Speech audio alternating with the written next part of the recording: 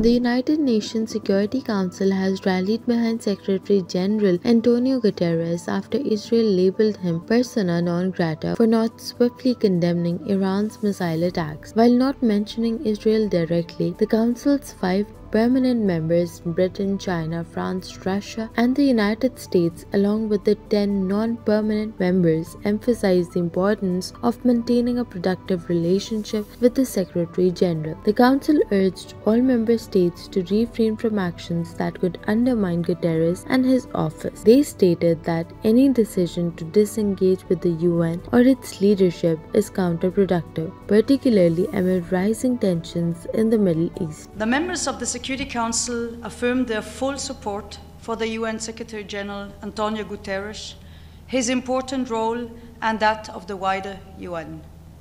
They underscored the need for all member states to have a productive and effective relationship with the Secretary General and to refrain from any actions that undermine his work and that of his office.